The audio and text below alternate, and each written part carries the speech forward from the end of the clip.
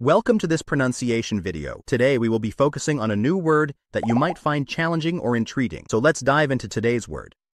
Setting, which means the context or environment in which a story or event occurs. Let's say it all together. Setting. Setting. Setting. One more time. Setting. Setting. Setting.